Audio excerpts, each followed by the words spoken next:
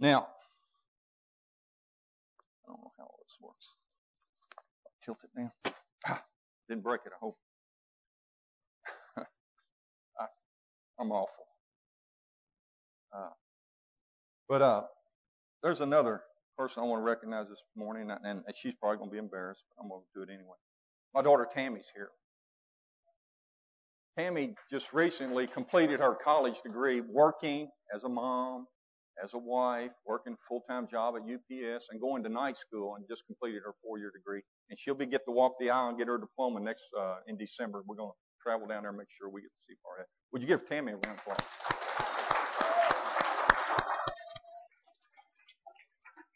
All right.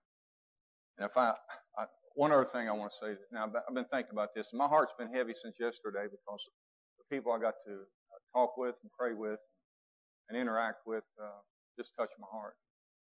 But Beech Grove, it, it, was wonderful to spend the day with you yesterday. All you who served and uh, came out there and, and, actually served soup, served chili, uh, served face paint, you served balloons for the kids. You served as uh, watchers of the bouncy thing.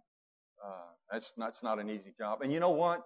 You know, in the news about a couple of weeks ago, there was um, 30 something, 35, 37 miners or whatever that was trapped for 70 days down in Chile. Y'all remember that big story in the news? Well, our generator ran out of gas. When it ran out of gas, that bouncy thing collapsed.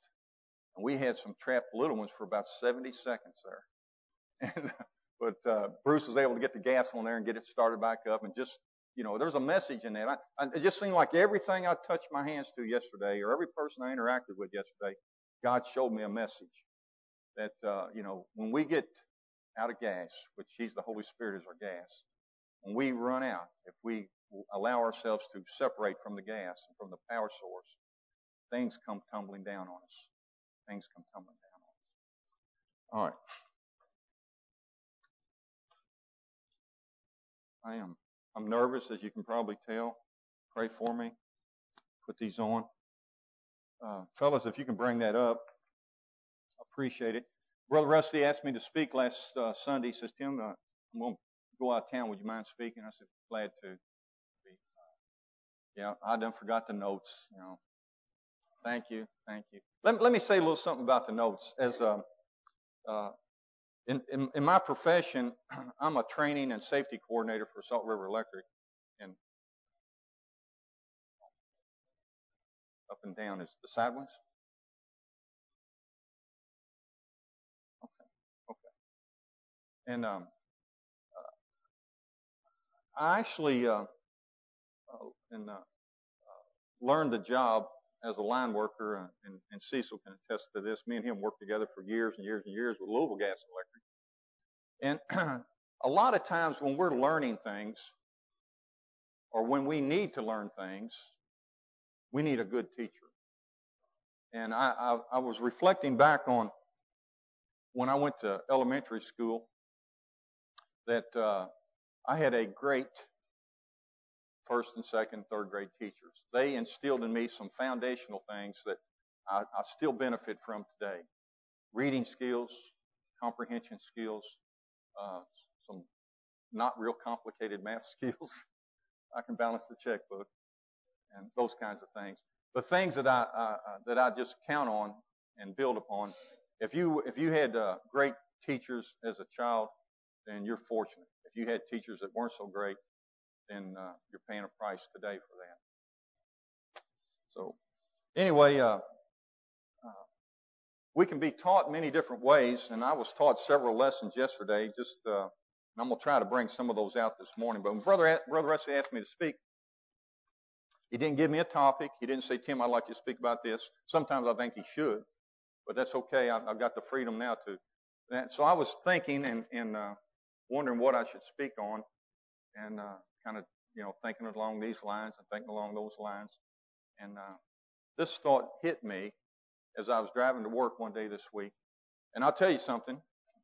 Uh, if I ask you to fill, finish this statement, if I say a picture is worth a, all right, if that be true, a picture is worth a thousand words.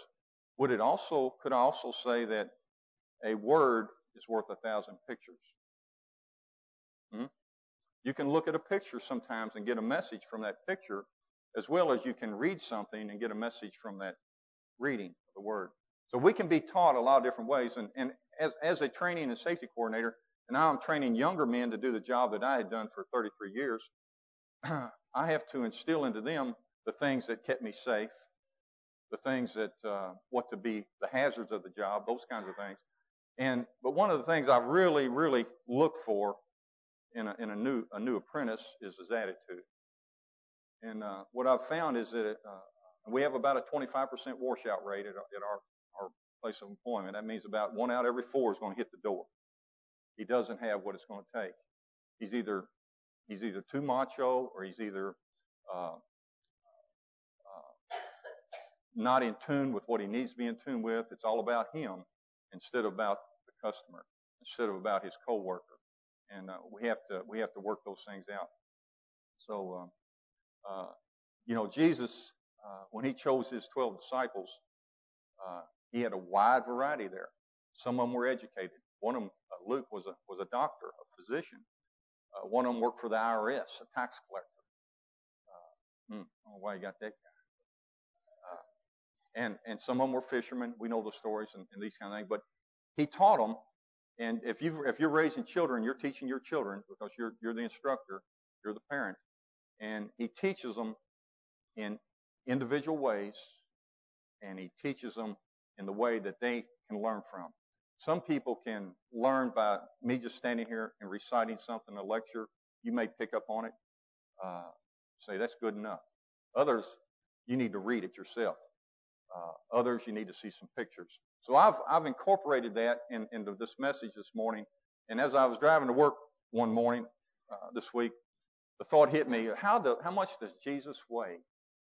And immediately some thoughts should be going through your mind as to you're picturing this physical person and you're picturing uh, what his, uh, his, his, his height might be, what his build might be, what his, his look might be. And, you know, you're thinking, well, he chased them money changers out of the temple, and there was more than several of them there, so he had to be a pretty tough guy to clean house there. So you kind of get those things going in your mind. All right, if you got your Bibles there, uh, turn with me to the to the Gospel of, of uh, Matthew, chapter 11, and we're going to look at look at uh, some scripture this morning. And then I'm what, what I'm going to do if, if you look at your notes right there, all you'll see is some highlights, some words highlighted there. Those are key words that I'm going to be uh, talking about this morning. Because all week long, as I was putting this message together, I, I, I divorced myself from the television. And I went into a, a room that was separated there, and I got my pencil out, my paper out, and I got my concordance out, and I got my dictionary out. And I had my laptop there so I could pluck away on that thing. And, and and I would write this down, and I'd scratch it out and try something else and that. So I'll spend a week doing this, and uh, uh, I'm going to share what God has shared with me this week. What I did, I just went in depth. We're going to go in depth and look at some scripture, a very familiar scripture, but we're going to tear it apart and we're going to dissect it and see what's actually being said right here. So, all right, here we are. Matthew chapter 11, verse 1. And it came to pass when Jesus had made an end of commanding his twelve disciples, he departed thence to teach and to preach in their cities. So he gave them some commandments. Then he began to teach and to preach in their cities. Now, preaching, when you look that word preaching up, it means formal speaking, speaking formally uh, in a formal setting. And it also means to preach, to speak about moral edification. In other words, how to behave yourself morally in society. How to be good citizens, how to do the right thing. That's what preaching is all about. Now teaching, we all, we all understand what teaching is. Teaching is uh, learning. You're instructing someone. So let's, let's go over here now to uh, verse 28 the rest of it. If you've got a red letter edition, you'll notice that your, your color is red. That's Jesus speaking. And Jesus says these words. Come unto me, all ye that labor and are heavy laden, and I will, I will give you rest. Take my yoke upon you and learn of me. So we've seen him teaching, he's teaching, and now he's telling them, learn, learn. I'm going to teach, you're going to learn. That's what he's saying. Learn of me, for I am meek and lowly in heart, and ye shall find rest unto your souls. For my yoke is easy and my burden is light. Father, in the name of Jesus, Lord, I pray, God, that you would help us this morning to learn from you, to draw close to you, God, and speak to our hearts this morning, Lord. Uh, just give us what we need this morning, Lord, in Jesus' name. Amen. All right.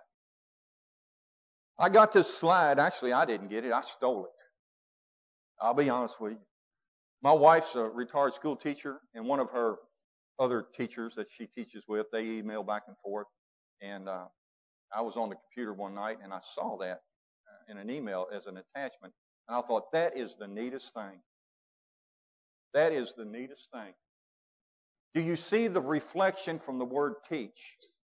Somebody just just holler it out. What does the reflection indicate? Learn. I think it's great. But you know that reflection would not take place if there wasn't light shining on the teacher. You take away the light, you take away the shadow. You take away the reflection.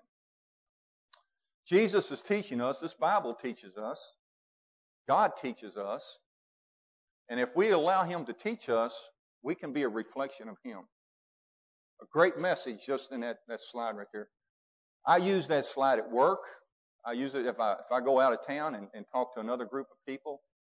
That slide's almost always, almost always in my program because I think so much of it. You can't learn without teaching.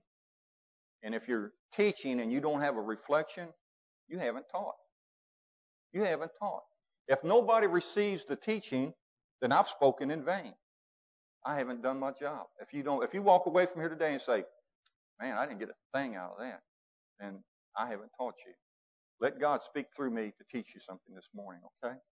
What you learn is a reflection of what you've been taught. I, uh, I'm going to go down memory lane here about 20 years. Pam will remember this. And I, Pam will never get in a canoe with me again. Ask her sometime why. I'll tell you why. About 20 years ago, there were several couples of us who decided that we were adventurous. I was 40 pounds slimmer, and she was too, and we decided we were up for this adventure. So uh, we all went over to the Blue River in Indiana. This was during the summertime, so it was warm weather, and it had just had a, a heavy thunderstorm the night before, so the river was running. Are you with me? Well, it was going to be about a six-hour canoe trip uh, down the river, and uh, there were places in the in the in the in the course of that that uh, there were some rapids, some, some white water there that, and uh, well, let, let me just say this. We, we fixed our lunch, put it in a lunchbox, and I bet we did not get from here to the door before we were upside down. And, and she got so mad at me. She was so angry at me. And of course, I'm just kind of sloughing it off, no big deal. And, uh, never been upside down in a canoe before. But that was just the first of many times that day, let me tell you. Anyway, there went our lunchbox. It went on down the river. And, uh, our lunch was gone and uh, she was angry about that. And uh, the very first thing I learned from that adventure was this, uh, uh, brothers and sisters, is that you have to get your canoe back up. And and just me and her, we got our life jackets on, and we're both avid swimmers anyway, so that didn't bother us. But we were, I was trying to muscle that thing up, and that canoe's full of water. You know, that's a lot of weight. And finally, somebody came by and says, leave your canoe upside down so that when you pick it up out of the water, the water stays in the river and all you're lifting is the aluminum canoe. And that worked pretty good. I could, I could get that boat back up if I let everything else come out of it. Are you with me? That's the way you get your boat back up. You, you turn loose of everything else and lift nothing but the boat. So anyway, uh, we, we went and we, uh, I, I thought we had an enjoyable time. I don't know about her but uh, she won't ever go again. But one night, one night last week, she had on uh, had the TV on and she had the Duggars on. Anybody seen the Duggars? That's that family that's got 19 kids. 19 children and counting, I think they say. Anyway, they were going on a canoe trip. And uh, so I just, it got my attention because I'd been on one. Nobody ever told me how to float a canoe or paddle a canoe or any of that stuff. And what I learned there, brothers and sisters, just watching the Duggars, they first thing they did when they prepared their lunch, they got them a bread sack. They put everything in there and they twisted it up, and they folded it up, and sealed it up. So if and when it did go overboard, it would not be ruined. So there was some preparation made about how they were going to take care of their meal. And then, then dad, the wise dad, he paired them children up so that he had an older child with a younger child. And then off they went. And uh, I didn't watch the whole thing, but it, it, it, what what I did see was that I didn't have a teacher helping me on my canoe adventure, and we we went over. They had someone who was teaching them the right way to do that, and they stayed upright. Interesting, isn't it? All in the teacher, all in the lesson. Teaching. You got the word teach there. Uh, if you'll notice, I didn't leave blanks, and you fill in the blank. I left you everything, and you, you know, uh, I know Tammy would tell you this. If if you go to college and you're sitting there, and the instructor or uh, the professor is is talking, he's not going to tell you what to write down. He expects you to glean from what's being said the important part. So if I say something or you see something on the screen, you think it's important, then that's God saying, write that down. Okay? Teach. It's a definition right out of Webster's dictionary. Communicate. Great communicators. I had a had a little miscommunication yesterday. If you were at Cedar Grove Apartments, we were setting up, and my wife pulled right up there where we were going to set the food and stuff up, and uh, I thought she was talking to me. And she says, "Do I need to move my car?" I said, "Yes." She wasn't talking to me there was a mail lady who had come in there to deliver the mail, and all the apartment mailboxes were right there. And she thought she might have been a hindrance to the mail lady delivering the mail, and she was trying to be considerate to her. I I was trying to be considerate to everybody goes up down that street saying, you know, let's get the car moved. Now she had stuff to unload out of the car, so it made sense to stop there, but I thought she was talking to me. A miscommunication. I kind of, you know, I thought she got a little testy with me, and I said, oh, okay, you know, I'll back off here. Communication. Teachers need to communicate what needs to be said.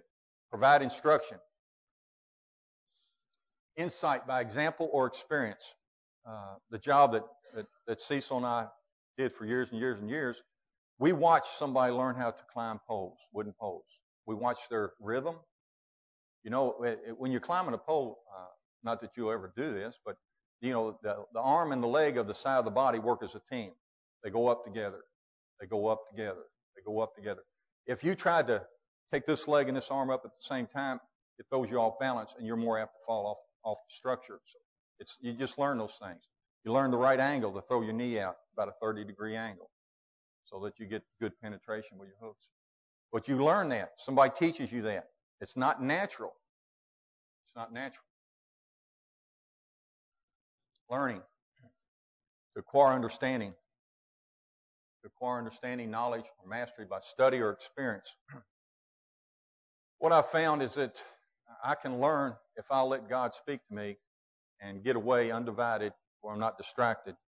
You know, uh, one of the reasons we are taught by Jesus is because the very last thing he told, if we turned all the way over to Matthew 28, and you don't have to turn there, but the last, the Great Commandment, the Great Commission, when he said, Go ye into all nations and teach the people everything I've commanded. That's, that's, that's you and me. Now, are we doing that? I think we did a pretty good job of it yesterday. But a, a literal interpretation of that, brothers and sisters, is simply this.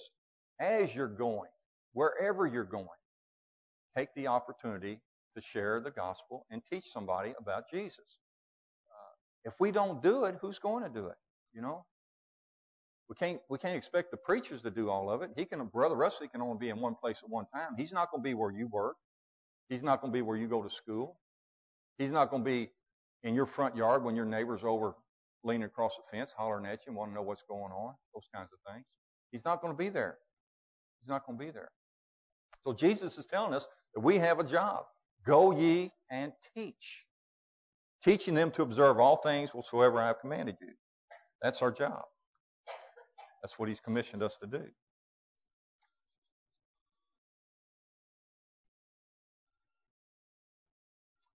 Come. Look at verse 28 there, the word come.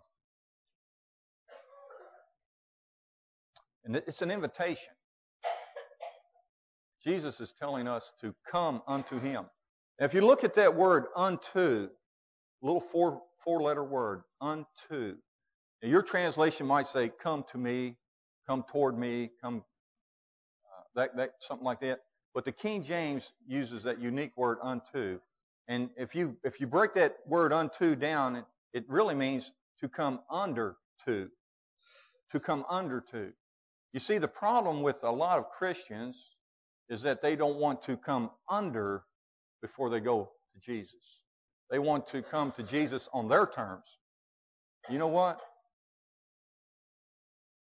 He's not your Lord if you come to Him on your terms. He's only your Lord if you come to Jesus on His terms, under His terms. Every sinner is given an invitation. Come unto me, all ye that labor and are heavy laden. Every one of us who's been saved have had to come to Jesus the same way. We've had to humble ourselves and come unto Him. Unto Him. There has to be, before somebody wants to come to Jesus, there has to be a willingness on their part. There has to be something going on that's drawing them in. Generally speaking, from my experience, most of the time, if everything's going good, you hunky dory, your life's great, you got money in the bank, you got money in your pocket, The cars are running, the kids are acting good, everything's fine, you don't see a need for Jesus. Not a need. What I need Him for? I've got everything I need. That's why Jesus said it's, it's hard for a rich man to enter into the kingdom. Because the rich man is, he's, he's caught up into the riches. But the person who has needs in their lives, you take someone who loses a loved one. You take someone whose health is give out. Someone who's going through a hard time. all of a sudden, there's some needs in their life that they have no control over. They're, they're wondering, you know, where, where's my next paycheck coming from? What, what am I going to do about my, my kid who's on drugs? You know, what, what about my marriage that's, that's suffering here? How am I going to handle all these issues? All of a sudden, God starts dealing with that. God starts dealing with that. But we get an invitation to come to Him. And it simply says approaching or following, to give or do what is wanted. When Jesus says, Come unto me, He wants you to give your life to Him. That's what He's wanting. That's what He's asking you to do. The word recover there, I, I thought, well, what, how does come mean recover? Well, if, if you have two boxers who are boxing it out and one of them TKOs one and he falls down, he's laying there until he comes to. And I thought, wow, sometimes, brothers and sisters, we will wait till we get knocked out before we come to.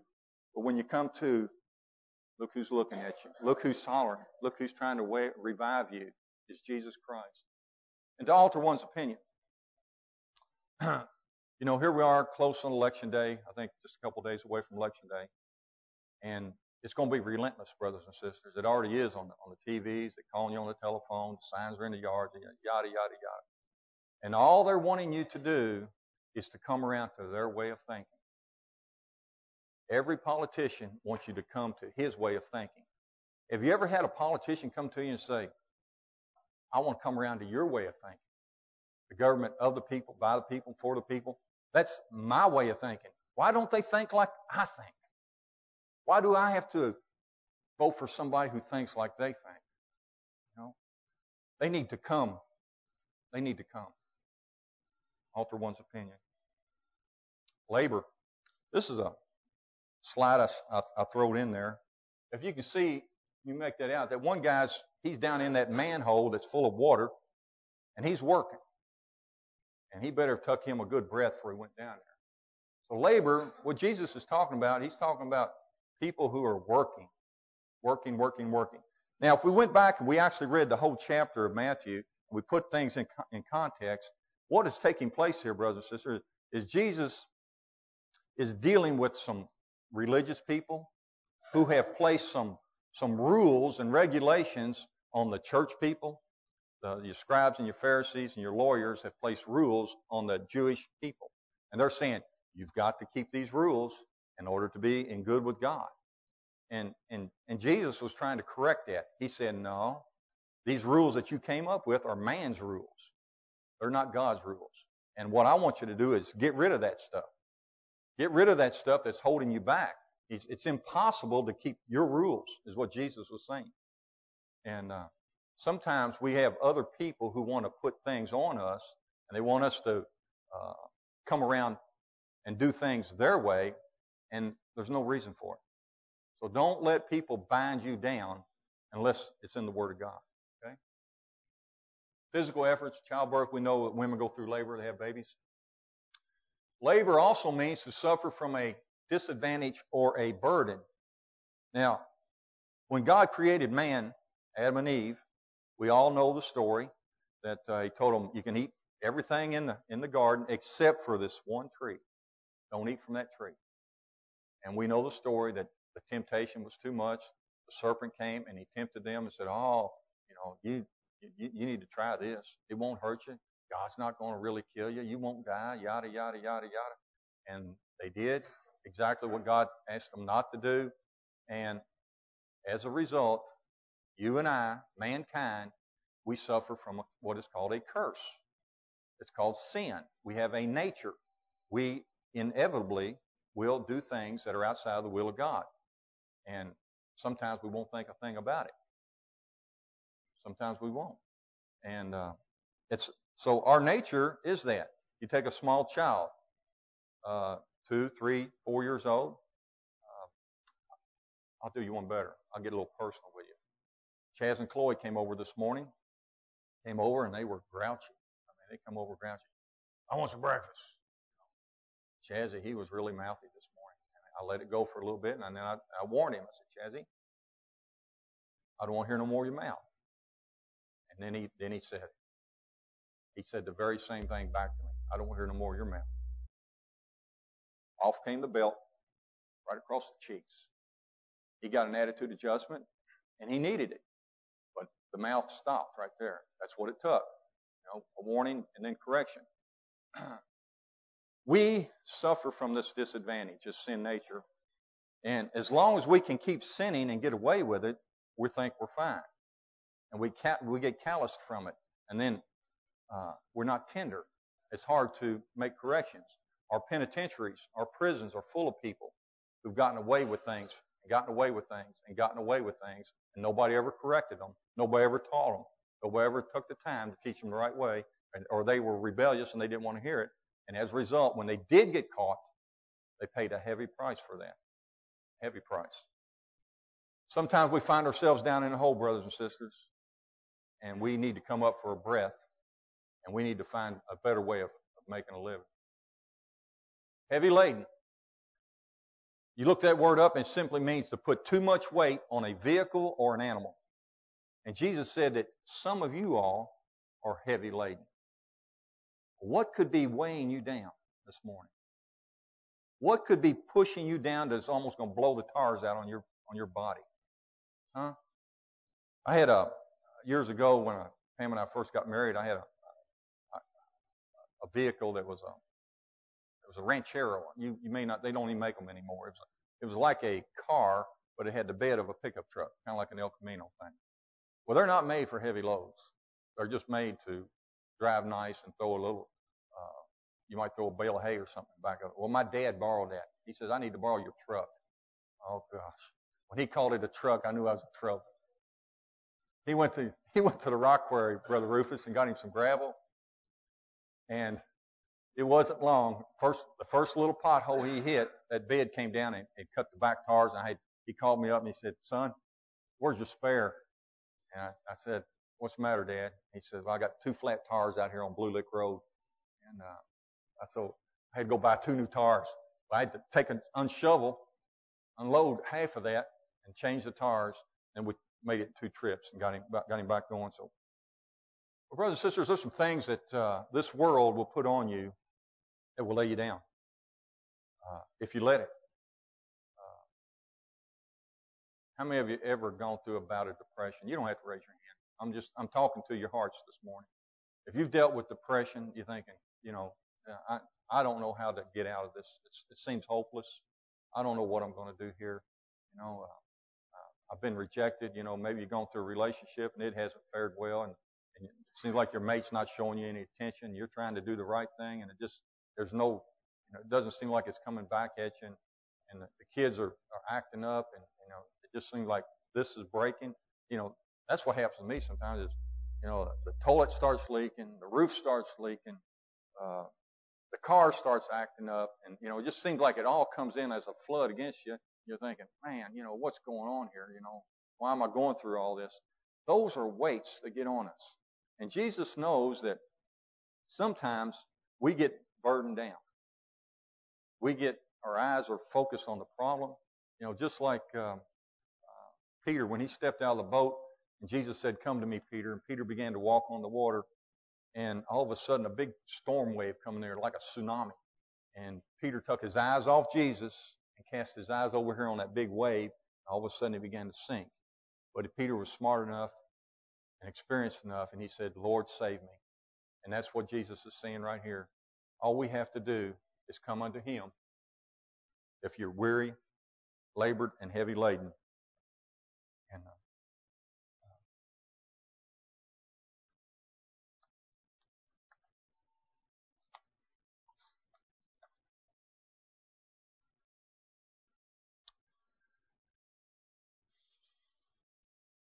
rest. That was uh, Allie's birthday a couple years ago. Somebody snuck out there and took a picture while I was catching a little nap on the patio. And uh, the word the word, word rest simply means to stop working. But let's understand what it means here. Jesus is calling us to service for Him, and the work that we've been doing was trying to please man or trying to please ourselves. So whatever you're doing, and it's for your uh, how, how people would uh, recognize you or give you accolades or something like that. If you're doing that, trying to please this person over here, and you're going you're going to work yourself to death. That's what Jesus is saying. He said, You are worried about things that have no impact on the kingdom.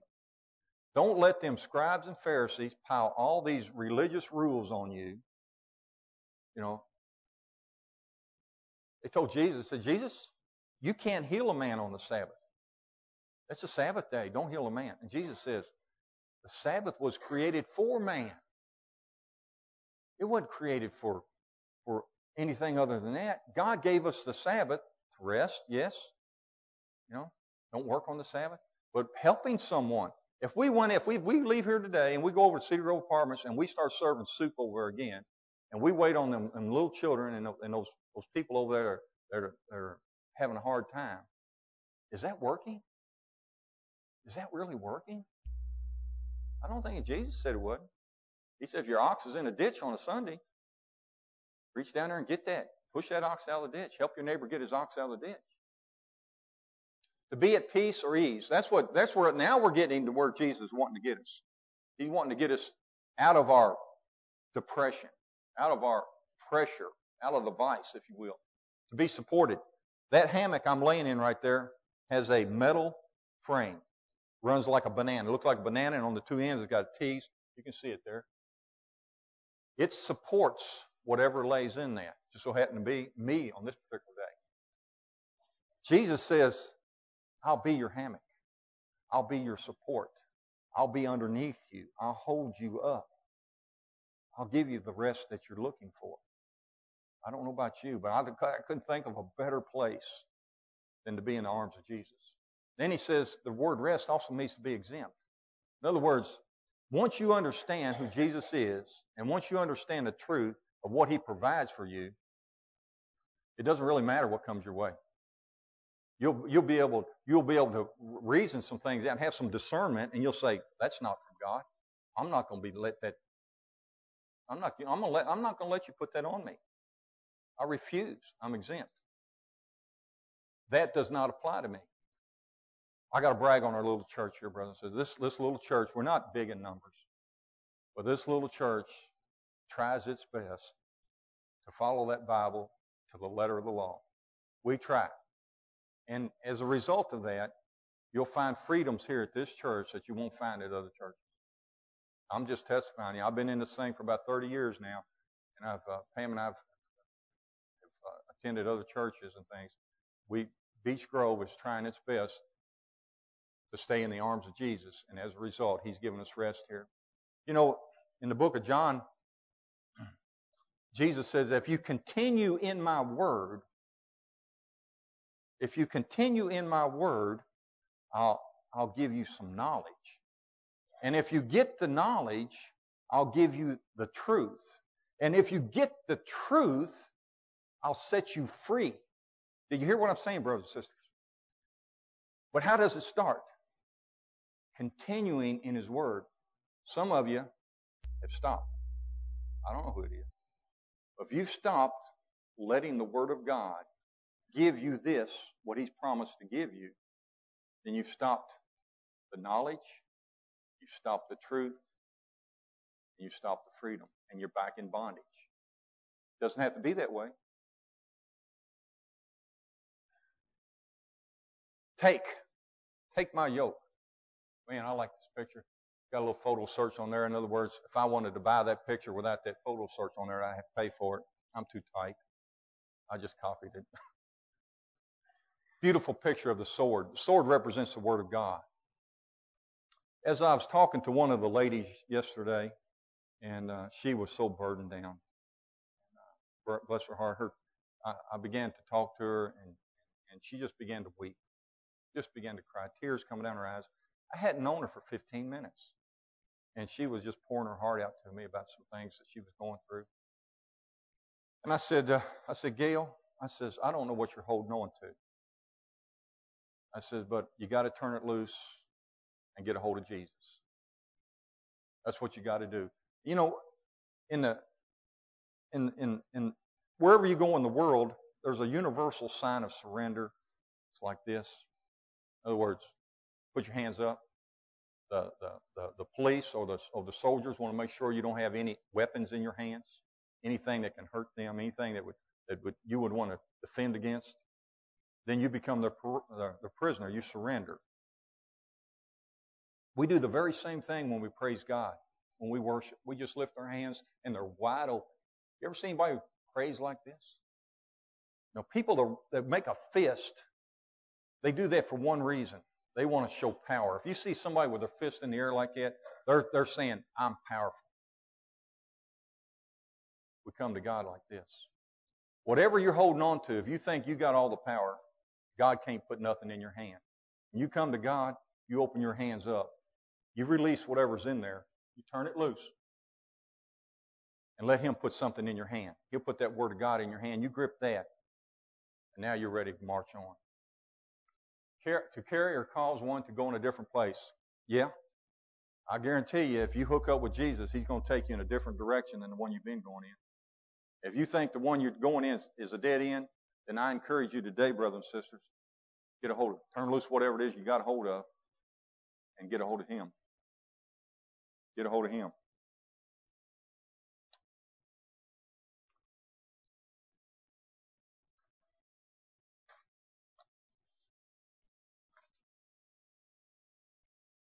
This is continued. These are these these definitions right here, brothers and sisters, taken out of a, concordance.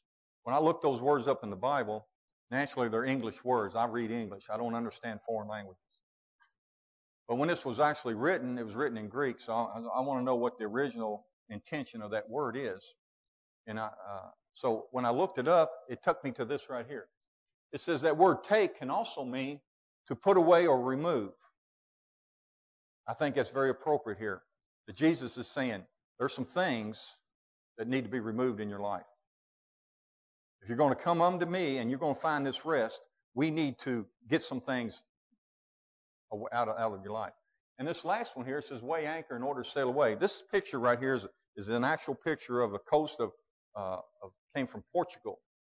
Now, if you if you know geography at all, you know that Portugal's over there in the Mediterranean Sea and the uh, Atlantic Ocean area, and it's over there around Spain, in that part of town, that part of the world.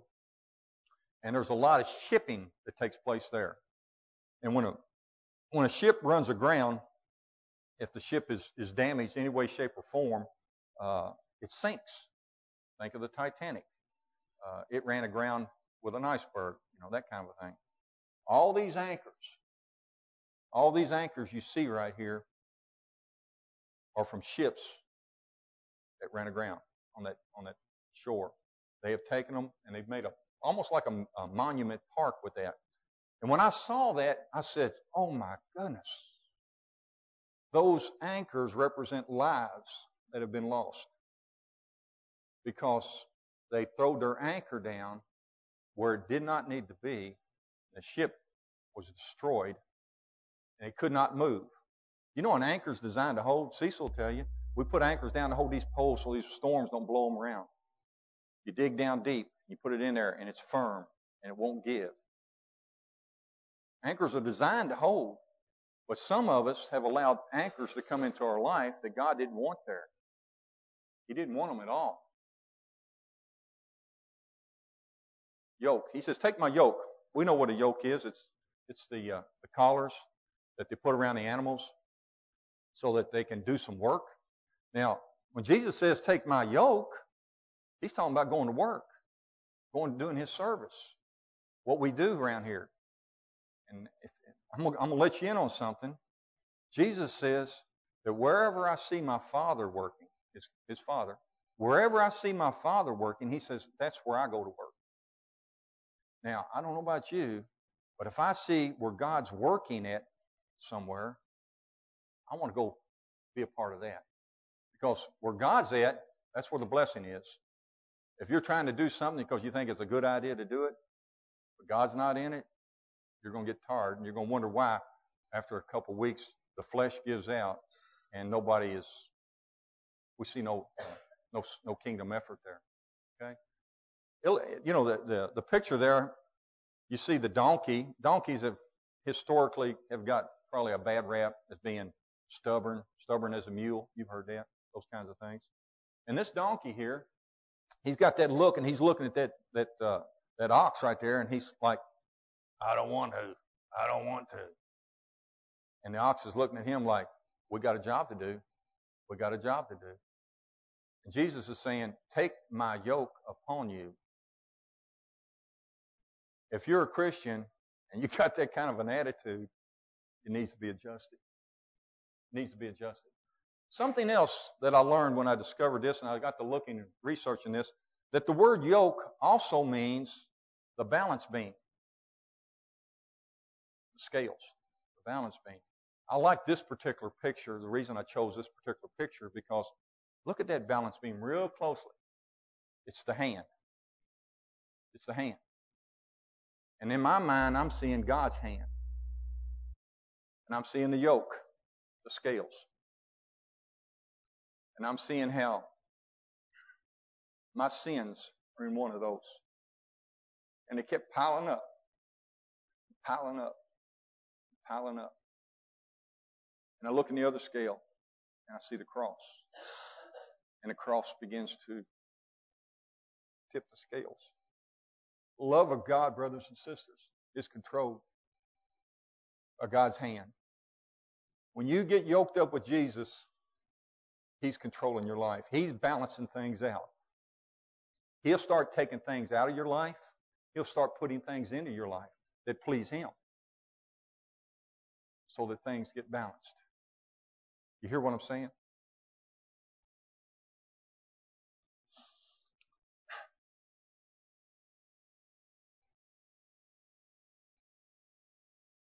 He says that he is meek.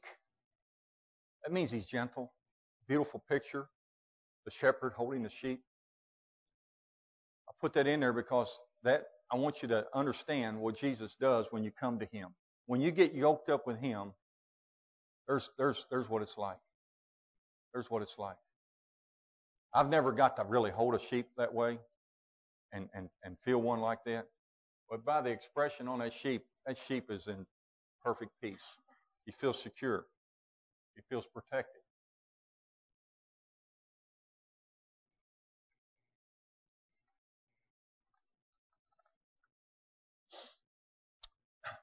You know, I didn't put a slide on this, but I'm going to just talk to, uh, just want to mention it. Jesus says you, you'll, you shall find rest when you get yoked up with Him. You shall find rest. The rest that He's talking about is for your soul. Your soul is your mind, your heart, that part that's inside of you that where your emotions are, your will. If that is uh, at unrest, or if there's something bothering you on the inside, if something is eating at you on the inside, this is the rest that you're going to get from Jesus Christ. He said, This I'll give you. This is what I promise you. Soul rest, soul sleep. That's what he's asking. He's telling us right there.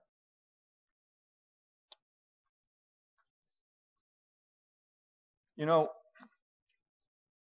how many of you have ever had a teacher somewhere along the lines that was really not cut out to be a teacher? Some of us.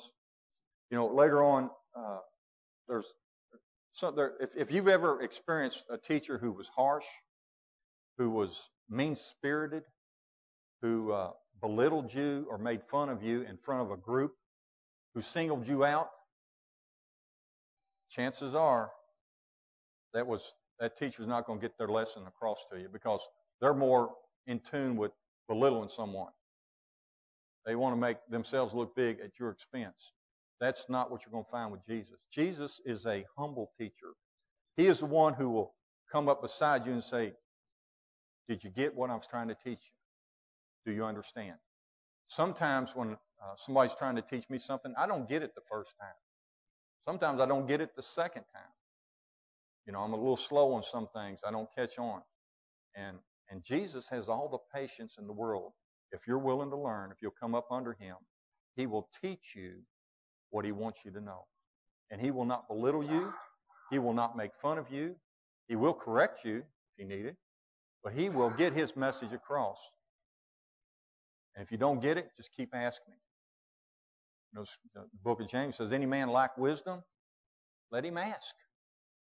If you want to know how to do something, ask him. Ask. Just ask. Psalms 25 9, it says, The meek will he guide in judgment, and the meek will he teach his way. Gets back to what I said earlier. You come into my classroom, you got a bad attitude, not putting up with it. You come into my house, even if you're my grandson, you got a bad attitude, I ain't putting up with it. Don't have to. And in fact, I do a disservice to the child if I let him get away with it. You know what? I do a disservice to the to the man who's trying to do the job if he's got a bad attitude. He goes out there and he gets hurt or he hurts somebody else, tears up some equipment. I was at a oh, it's probably been 15 years ago. Me and a fellow were working together, and I was in Mount Washington, and uh, summertime, so kids are out of school, and, and a lady was, uh, and her children were out in the yard doing something. Anyway, uh, the guy that was working with me, I, I, I told him, I said, I need you to go up there, and I need you to check some connections for me. They have some flickering lights or something. And he got up there, and he was mad. He was having a bad day. He dropped something. Then he dropped something else. Then he started dropping some bad words. And I immediately had to cut him off. I said, I don't hear another word out of you. I said, if you can't do the job I've asked you to do, come on down. We're going, we're going back to the shop. I don't want you working for me like that. I said, these customers don't need to hear that. They're not wanting us out there. They got a problem. And the last thing they want to hear is your problem. Uh, but he got, he got, once I got serious, he got serious.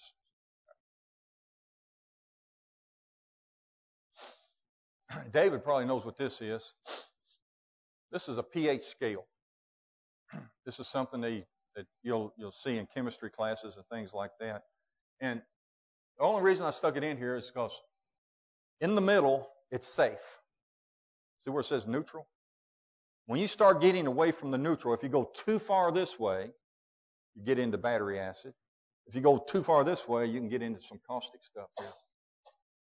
Jesus says, I'm base. In other words, I won't hurt you. What I've got for you is good for you. Milk, water. I don't have any acidity in me. I am the base. You know, I am, I am where it starts. You know, one of the messages I got yesterday when, when I first got here, I'm gonna haul this trailer over to the, to the apartment building and Travis was out there and I said, Travis, will you kind of watch me? Him and, uh, Braden. Braden was with us and uh, they was kind of guiding me back there.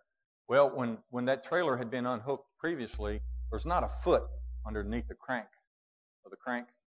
Uh, and uh, there's not foot there.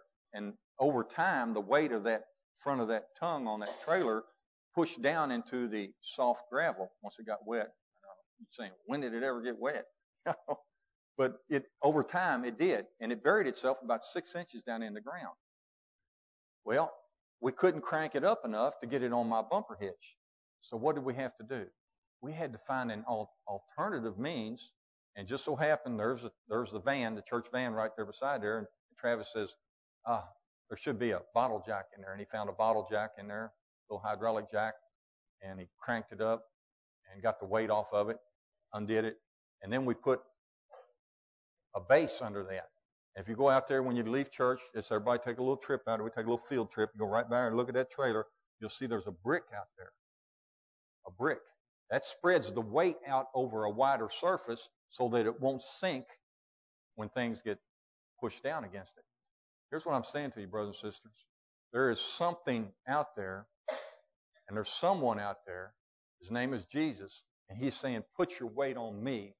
I won't go down when things get wet. I won't go down when things get bad. Put your weight on me. That's what he's saying right here.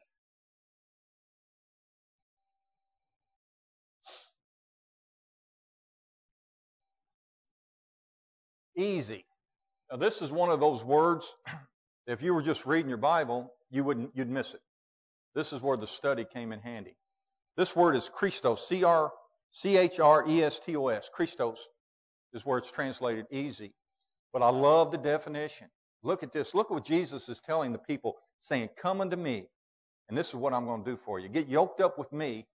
I'm going to give you some employment. You know, last Sunday night, I had no idea I'd be standing here saying this, but last Sunday night, as, as Taylor and myself and somebody else was leaving after Bible study, and uh, I said, you know what? There are no unemployed Christians. If you're a Christian, you're working for Jesus. I don't care if you're getting a paycheck or not. I'm not, I'm not talking about the unemployment, that kind of thing. If you're a Christian, Jesus has got a job for you to do. Be a part of this church, be a part of the church wherever you come from, something. He's wanting you to work for Him. And you get yoked up for Him. That's what it's saying there. If you, Jesus said, if you come to me, I'm going to give you some, I'm going to give you a job. It's not going to be a do nothing job. It's going to be a job. It's useful. He says, I'm going to put some character in you. I love that too. You know what? Before I got saved, you wouldn't have liked me very much. My character was bad. I had bad character. I had bad language. Cecil can remember those days. Thank God they're under the blood. I had bad character. My thoughts, I never, you know, Jesus, we're told to cast our affections on the things above. In other words, think about godly things. If you think about godly things, the devil can't get to you. You know, we're told to resist the devil. Draw near to God, he'll draw near to you. Resist the devil and he'll flee from you. And Jesus says, I'll give you what you need. I put those tools up there because everybody knows a carpenter needs some tools, a mechanic needs some tools or whatever. But you're going to need some tools. And you know what? I didn't get real serious with this until I was probably a Christian about 10 years, waited a long time, and I realized if I'm going to talk to people about Jesus, I needed to know what I'm talking about. I needed some tools. So I wanted, I my toolbox up, which is my heart and my mind. I opened them up. I said, God, put some tools in my box. Give me what I need. He did. He began to give me scriptures. He began to give me examples. And all of a sudden, the, the word became true. He said, If you continue in my word, you'll get knowledge. You get knowledge, you'll get truth. You get truth, you get freedom. Burden, Jesus said his burden is light. Picture, you got these guys loading or unloading this ship right there.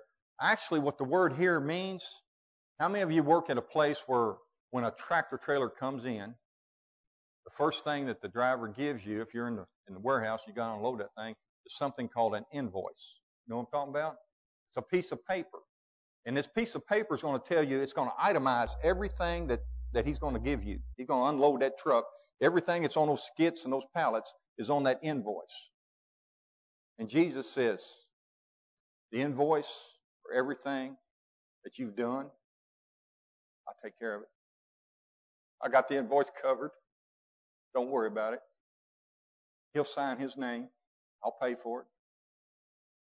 All of the things that we've done, brothers and sisters, he's got it covered. The invoice is taken care of. We don't have to worry about it. Light. Another one of those words. got a picture here of an airplane. There's not a whole lot of baggage going on or off that plane, but I got to tell you a story. probably, honey, it's been probably been about eight years ago, I guess it was. I had to go for a week up to Madison, Wisconsin for some, some training, and uh, was flying United. And, uh, I ain't got anything against them yet. Uh, so I got on the plane, and uh, I arrived in Madison, Wisconsin. And when I went down there to the get my luggage off that carousel, you know that luggage, your luggage goes round and round and around, and uh, my luggage wasn't there. I checked uh, checked with the, the handlers there, and they said, Oh, we're so sorry, Mr. French. Your luggage is in Dallas, Texas today. So that, that wasn't too bad. It was it just so happened it happened to be this same time of year. It was, it was around Halloween. Uh, Madison, Wisconsin, if you don't know it, is a college town. The University of Wisconsin is right there. And the hotel that I was staying in was right there in the college part of town. And they shut the town down because it was homecoming. So they shut all the streets down and all the students were running crazy. They're just out there having a great big party for this homecoming. And uh, so I'm trying to find me some clean underwear for tomorrow. And so I asked the hotel hotel person there. I said, "Is there?" Any, and I don't have a car. You know, I'm I'm just there on foot. I took a taxi from the whole from the uh, airport to the hotel, and so I'm stranded there, and and, and with about ten thousand half drunk, half crazy college kids, and there I am trying to make my way through there, and I, it's probably about as close to Mardi Gras as I've ever been, something like that. But anyway, I, I made my way to. They, they directed me to go to a Walgreens. Now, how many of you know you don't go shopping at Walgreens for clothes? Huh? I got some of the, the, the craziest, loudest looking boxers that day you ever seen in your life. Anyway. But Jesus says his burden's going to be light. In other words, there's not going to be the worries that you currently have. You're not going. I'm, I'm, I'm taking those away. Those are gone. Agile. Now, people that are agile avoid injuries and they avoid things that come at them. You got to be quick. Uh, in other words, dodge the bullet, dodge the big one, whatever.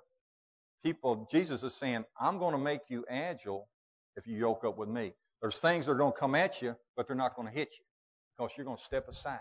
They're going to right on by. Sin's going to come at you. Temptation's going to come at you.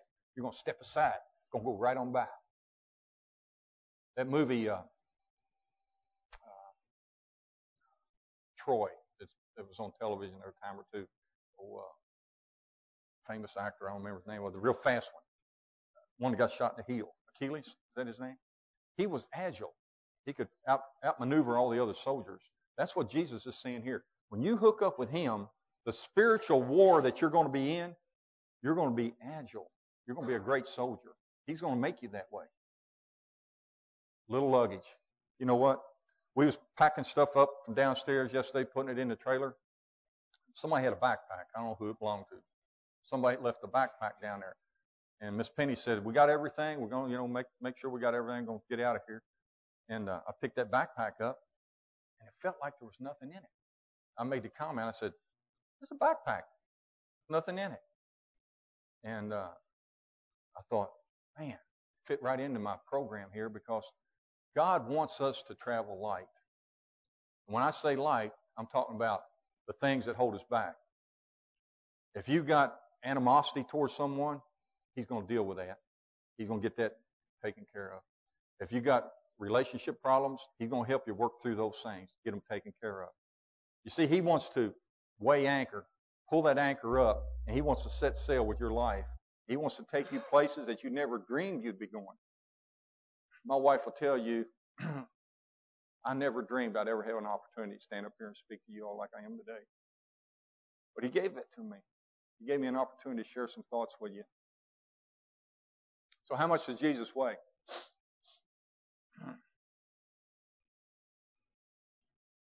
Answer is, how much weight do you give Jesus? You see, Jesus asked his disciples when they are all sitting around him, he looked at them and he says, Who do men say that I am? And they looked right back and they said, Well, some say you're Elijah, some say you're so and so, and some say you're so and so. And then he looked at them one more time and he says, But who do you say that I am? Now it gets personal, brothers and sisters. Who do you say that Jesus is?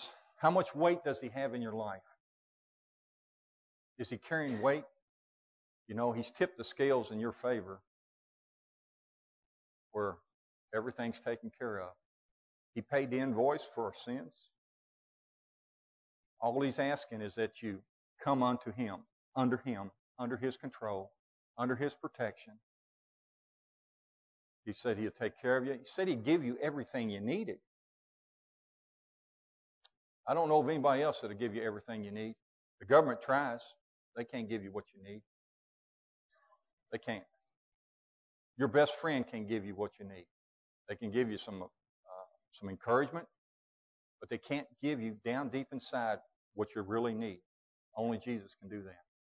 And the, and the invitation, you know something?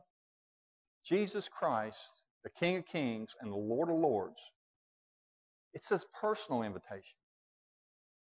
You know, you think uh, the mayor of Shepherdsville is going to give you an invitation? The governor of Kentucky? The president of the United States? Or whoever in some big position here is going to give you an invitation to come and see them and talk to them and be a part of their thing? No. But the King of Kings offers that. He says, Come unto me, all you that labor and are heavy laden, and I will. One other little word I, I put in there that's all. It's all, A L L. That means whosoever will. Don't care who you are. The invitation is, is on right now. If you want to come to Jesus, uh, if things are out of out of order and you want to get them back in order, let him take care of the freight. Okay? Let him pay the freight bill on you. All right? Brothers, I, I don't got any music or whatever. We're going to just take a time. If you want to, if you want to pray about something, just come right on up here, and uh, I'll pray with you, or you pray by yourself, whatever. But don't don't leave here if you know you need to get right with Jesus. If you know you need Jesus, you've never done that. Come on up here and speak with me. I'll try. I'll, I'll show you right out of the Scripture what Jesus said we have to do to get saved. Okay.